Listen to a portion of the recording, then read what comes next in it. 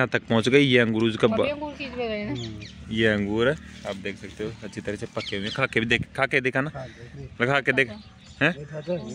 खाड़ देख मीठा से। बहुत गजब। देख सही बन गया था।